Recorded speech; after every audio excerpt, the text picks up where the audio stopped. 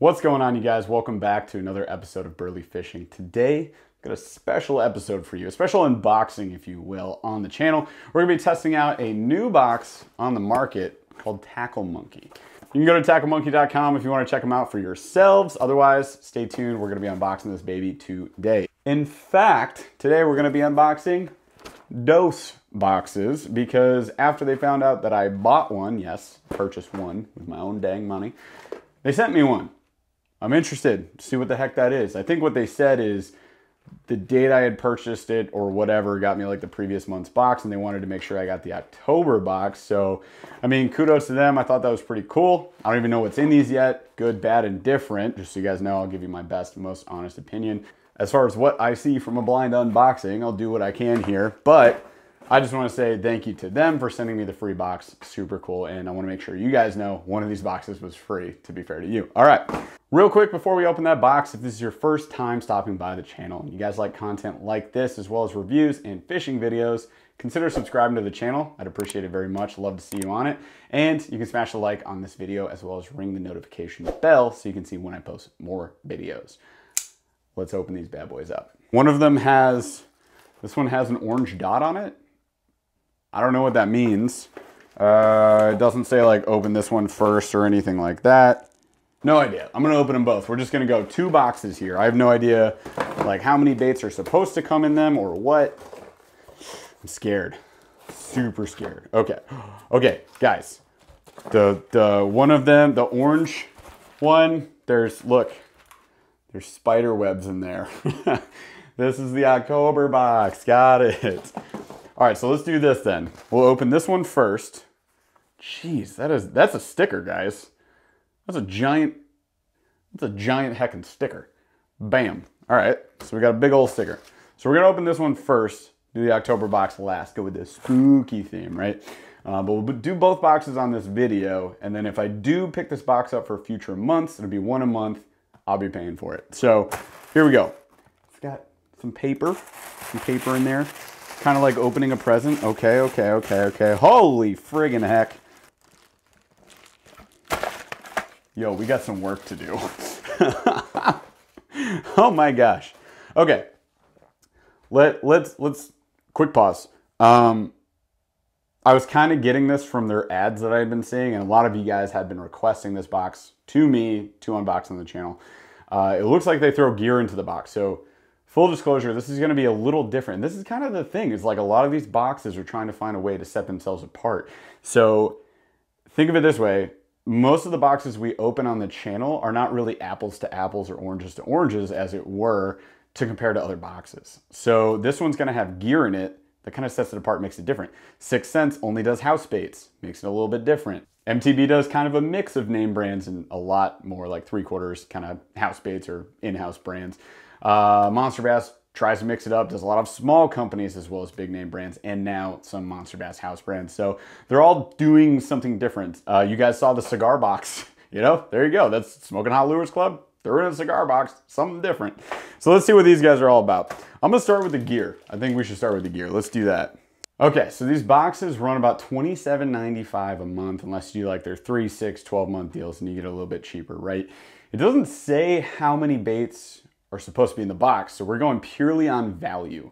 Uh, so it's a little bit cheaper than the other boxes I get. You guys know Monster Bass is like $36.99 unless you do a longer deal. MTB, the Elite's $39.99. So this is closer to like the Pro Box price. So you would assume you'd get like six baits, but they're running gear and gear runs a little bit more expensive than the baits do. And there's probably a lower margin on them too. So let's keep that into consideration here. Uh, so off the top, gear wise, two, technically three pieces of gear in here, and then there are four baits for lures in this box. So let's, let's, let's work through this, okay? So the first thing I notice is that there are two loosely packed tie downs, I'm guessing, tie downs, uh, which, I mean, are definitely useful items to have. Seem like okay quality Velcro and uh, you can you can velcro stuff down I can't I don't think they went to anything necessarily but they're in this box so we got some tie downs um, There are no instructions, no, you know, there's no card in here. There's nothing to like indicate what you're supposed to do with these things. So interesting, interesting. Okay. Second thing I would say is valuable, and that is a Line Cutterz ring cutter. I picked these up before. These aren't cheap. And this is what I'm saying is like, if they do include gear, you can expect less lures because of that. Uh, simply because, you know, things cost money, man.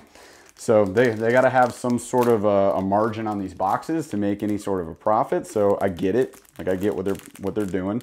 Oh, they, look, they logoed it. Boom, Tackle Monkey logo on the Line Cutterz. That is a nifty touch.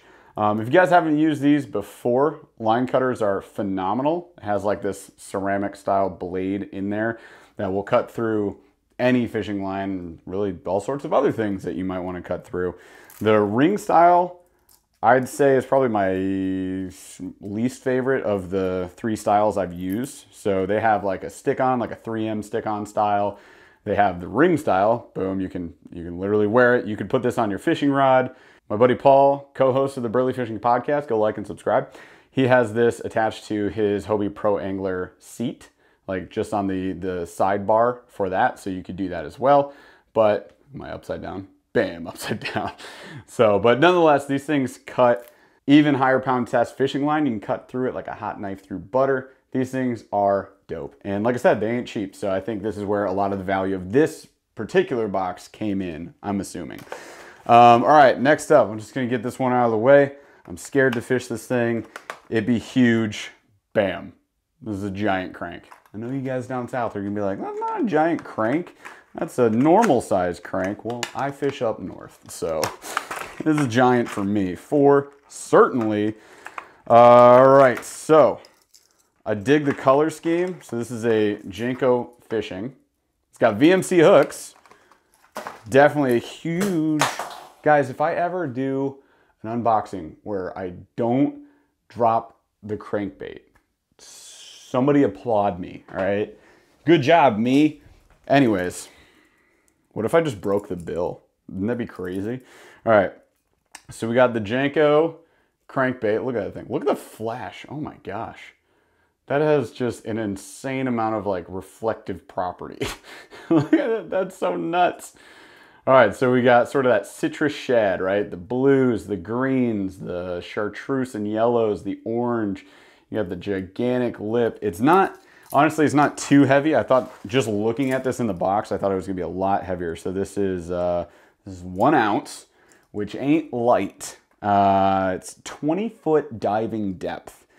This thing, you are going for those deep trenches. You are, you are looking for some fishies on the bottom and you're gonna pull them right off. Uh, shape of the bait looks pretty good. Paint job looks good. Look at the eyes on that thing. His eyes are friggin' dope. I like it. And then the hooks, of course, they're VMC hooks, so they're sharp as all heck. It's not quite as big as this one and a half ounce uh, soda pop can that I got from Six Sense a while back. As you guys can see, it's quite a bit smaller actually, uh, but still just not a size crankbait that I usually grab for or use. So this is more of a 25, 30 foot diving depth, and this one is more of a 20 foot. So interesting. I could potentially be using this. I, I will, will try. Weather has not been cooperative. Uh, so I'm hoping my fishing season isn't all the way over just yet but it's getting gosh dang close. So we'll see. We'll see if we can pull something, some sleeping giant up off the bottom. Neat. Next up, we got a couple of these. It's almost time to be fishing these. So this is actually like, seems to be a seasonally appropriate box. So kudos to them because we don't get a lot of those from some people out there. Uh, so we got the steel shad, which is a blade bait right? So kind of a, looks like a flat lipless, like you squish a lipless, right? So blade baits are pretty great, especially if you're jigging off of drop-offs or in deep sections. If you can find uh, some cover, something, some laydowns down deep, you can just drop your anchor and just start jigging one of these things around. They have some crazy erratic action as you lift up on it. It's got a decently heavy belly weight to it. I mean, it's a classic bait. It's the original steel shad. It's a classic bait. It will definitely catch fish. Uh, so as they say on the box, imitates injured bait fish, any depth, any fish. Generates more strikes. Check it out. All right, classic bait. Cool thing about this, this is a, it's got like a gold reflective sticker. I mean, it is a sticker. It, that, that reflective coating there, it's a sticker. Uh, but it seems to hold up decently well. The other one I have is silver, so now I can vary up the colors if I need to. Not bad at all. All right, we got two things left in here, guys. The next one we have is the Azuma, Fish Azuma. It is called the lipless crankbait, the lipless crankbait. Interesting packaging, this little box here. Let's see what we got. Check that out. Decent body shape to it. Very tinny, super heavy tinny rattle. I like the color on it. It's like this shiny copper to it. Nice looking eyes on it that kind of bulge out a little bit. It's like a fatter, look at that thing. Look at the belly on that thing. This thing eats. so yeah, fatter lipless, super loud. Again, something we could be ripping through grass, over shallow cover, or fishing deep. Go and jig it. I mean, we got to find the fish this time of season. For me, it's like, it's all about finding the fish. I'm using the sonar more than I do all year round got to locate them and usually when you locate them they're kind of bunched up and then you can just rip through them with one of these so nice again seasonally appropriate i can appreciate that compared to other boxes we've been opening on the channel all right i know more about this brand now thank you you guys so this is the buddha baits and it looks like a craw it's called the four inch baby mama you guys know the deal with these These things are potent. All right. Ooh, this is sweet. So we got a chunky craw. Look how fat that thing is. Boom. Yeah, you're gonna thread that on EWG, Texas rig it, jig it, trailer on a jig. I mean, you guys know the drill. You can do all sorts of stuff with craw baits. Uh, switch things up. Do it as a trailer on a spinner bait or a chatter bait. Do something cool. Lots of fun. Um, smaller claw appendages on this A bit smaller as you guys can see there, little tiny, little tiny guys. Uh, and then these little flapping appendages up there. So interesting, like a little craw beaver style kind of bait. Comes in green pumpkin and seems decently durable, probably hold up. So there you go. So that's the that's this box, guys. So again, $27.95 for these boxes. So let me know in the comments below if you think you're seeing that value. So we have this full pack, by the way, this eight count full pack there of the Buddha baits, beaver style, craw kind of pattern bait. We got that Jenko 20 foot dive-in crankbait. We got that copper lipless, the Azuma. We got the steel shad. And then, one, two, three, four, yeah.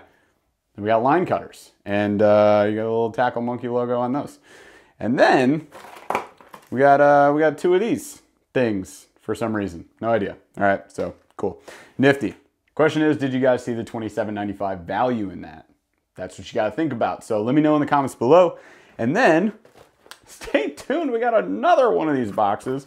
So here comes the Halloween box. There's like, oh it's full of confettis.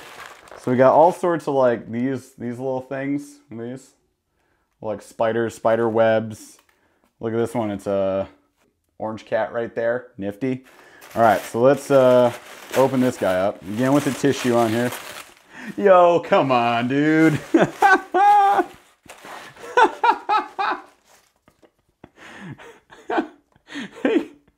well, you got a skeleton. There's your cranium. Halloween themed, you guys. This is the one they sent me for free, by the way. So again, I definitely appreciate that they sent me the box to check this thing out, do the review on the channel. I think I think it's pretty cool anytime a fishing box includes some M&Ms. You got some candy, dude. All right, so it's definitely a Halloween themed box. We got we got candy, we got that confetti, we got the skull, we got uh, random sticker. I'm, I'm assuming this bait is in this box. And then, yeah, everything looks kind of Halloweeny in here. So, start from the top. We've got, what the heck is this? Jenko creature weight. Creature weight. Interesting. Okay. So it's a high density lead weight. So it's a weight. It's got eyes on both sides and it's got this odd shape to it, right? So very interesting weight that you could use really for anything. Uh, but they mention, you know, obviously it's it's almost got that teardrop kind of shape to it. Texas rigging, Carolina rigging. It's heavy. What is this? This is an ounce. This is a one ounce weight right here. So super heavy. Use it for anything you would a heavy weight. One ounce is generally my Carolina rig weight. So I'll be throwing that maybe, or do a super heavy Texas rig or something. Use it for some sort of weighted setup. Interesting, the creature weight. And they do say on the back here, like the, the weird shape to it causes it to fall a little bit differently than your normal like bullet weights might. We've got the AccuCull. What is this? Hold a hook. So you got the AccuCull, which is an all-in-one mini keeper hook keeper, bait keeper, whatever you wanna wanna call it. Comes with a whole bunch of O-rings for attachment purposes. And then we've got the uh, the thingy, thingy right there. So this actually, it looks like it just straps to, let me show you this without the glare. I don't know if you guys can see this.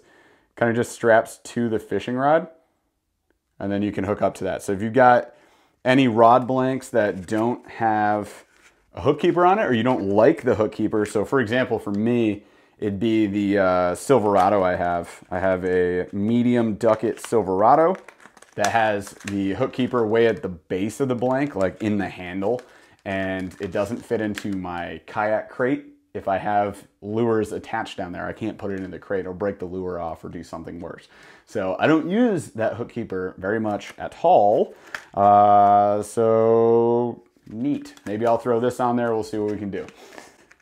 All right. Okay, I, I got to do this next one next. Um, this hurts me a little bit, but uh, they really like this Jenko brand, it seems, in this box. So we got Jenko in here again. Not that necessarily anything's wrong with Jenko, but this bait in particular did end up on my least favorite baits list. So if you guys listen to that podcast, you generally know the deal with this, but this is the Rip Knocker. I don't even have it on my wall. You wanna know why? I'll show you. Here we go. And the reason it's not on the wall is because it is a hookless, lipless bait. The reason it's hookless is because it's a through line bait and they send you this treble. So we got a VMC treble. Glad it's VMC, but VMC treble there. The idea is that you would thread your line right through the lipless bait and then you would tie it onto your treble here. The way it works is you fish this like you would a lipless, and with the line having tension and no fish being on the hook, it's gonna stay like this as you fish it. There's no back treble, which means the fish is gonna have to friggin' eat this thing. But if you get hung up on grass per se, you're supposed to be able to pull this out a little bit easier. But the main reason they did it is that if a fish gets attached to a lipless bait, usually it could use the weight of that lure to get itself free. So their thought is if a fish bites this, this guy, this guy, the main body of the lure is going to slide up the line. And then you just have to fight a fish on this little hook here. And it can't do anything to get off of that. There's no weight to this, which is a great concept. I just have not seen much luck on this thing. Now that said, this paint job is friggin' cool. This is a red craw and you can see like the whole exoskeleton style of that craw in there. So sweet paint job, matches up to Halloween time. Not a big fan of the Rip Knocker, but for the people, we'll give it another go. We'll see if we can do something with it, all right? All right, moving on. Don't lose your trebles if you do that. Oh, I should probably do this one next.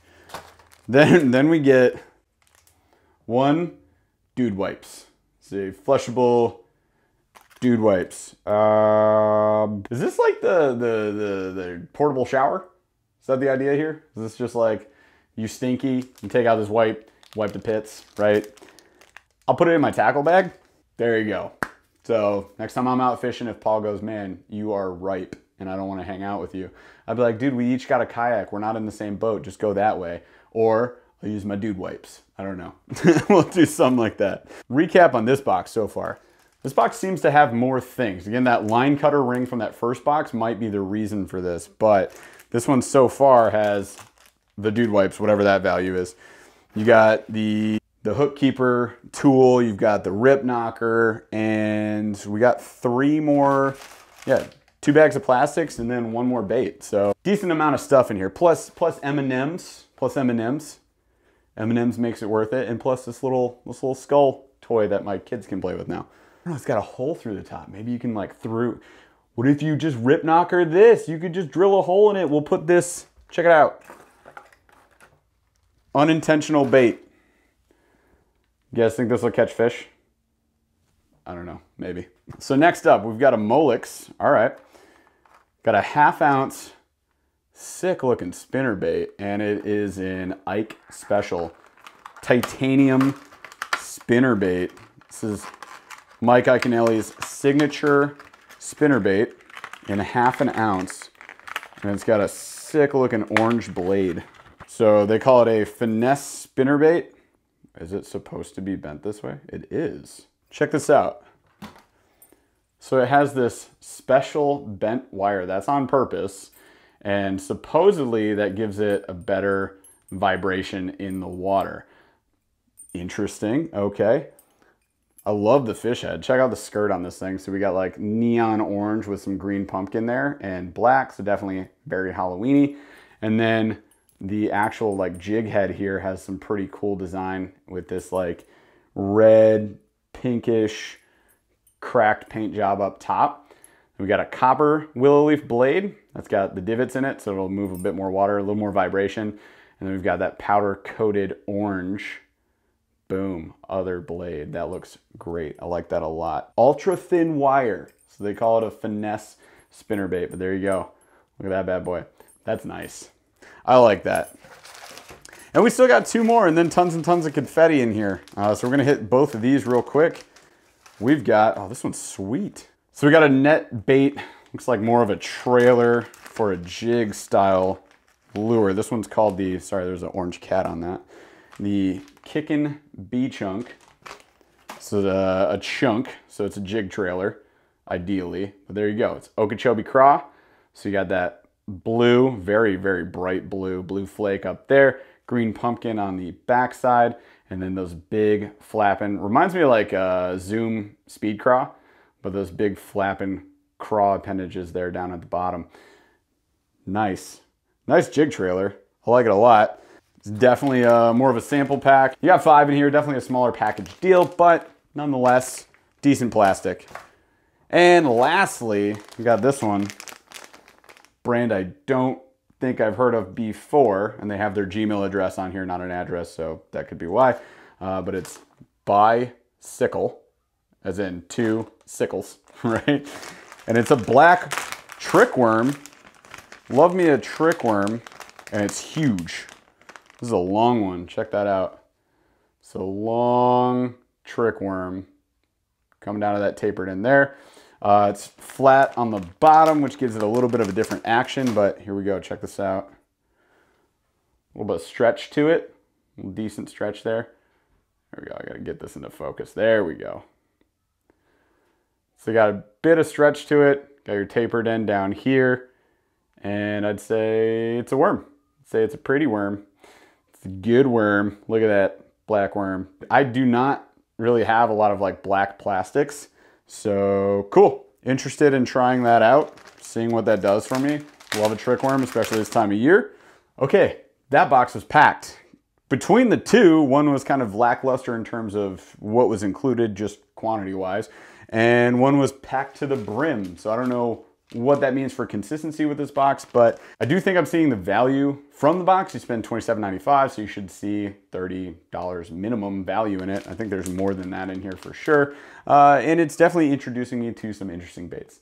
I, you know, was iffy about the Halloween theme. I was like, what are we gonna get? Like some joking stuff here, but I can see these things working. I don't know if I have the exact right conditions for all these things to work. Usually I'm throwing orange baits in, you know, dirtier water. And right now, all the water around me for whatever reason is crystal clear. So if the water level goes up in the rivers, I could see a great opportunity throwing some of these around. And blackworms, I definitely need some darker water for that. So we'll see. Still, I could find a way to make it work. And at the very least, I promise you guys I'll test it out in the Burly Fishing tank. So we got that option at least as well. All right, you guys, two boxes for the price of one on this video. Big shout out to Tackle Monkey for sending me that box for free. Cool, kind of like Halloween concept to it, but I want to know from you guys, how did this box stack up? How does it compare to other boxes we open on the channel? And try to keep in mind too that they do offer gear in the box, which I believe puts it in sort of a separate category to some of the other brands. So again, not apples to apples. If you're gonna throw gear in the box, that takes up a large portion of the value, I believe, especially with something like Line Cutterz, uh, comparative to the lures. And it's gonna cut into the profit margin really for the company. So interesting to see like how this business model plays out for them and how this box concept plays out. It's not the first one to do it by no means. There are other boxes that do the gear thing as well. Uh, but what did you guys think overall? Tackle Monkey. Good, bad, indifferent? Hit me up in the comments. Let me know. What were your favorite baits from these two boxes? What were your least favorite baits from these two boxes? Like, how do you like the uh, the Rip Knocker, for example? Tell you what, you made it to the end of the video. Congrats and thank you. Should I keep this subscription? Yes or no? Hit me up in the comments below. Again, favorite bait, least favorite bait. What do you think of the box? But overall, should I keep getting the box? It's up to you guys. I'll, I'll, I'll put it out there. I would love to be getting through the winter five boxes a month. Should give me enough content to put out to you guys in combination with other gear reviews and things I'll be doing. And eventually, please soon, ice fishing in the meantime, you guys might be getting some steelhead or some salmon action as well. We'll see what goes down. Thanks for watching today. You guys have been fantastic as always. If this is your first time stopping by the channel, consider subscribing. If you like unboxings, gear reviews, and fishing trips, and smash a like on this video, ring that notification bell so you can see when I post more videos, and I'll see you guys on the water.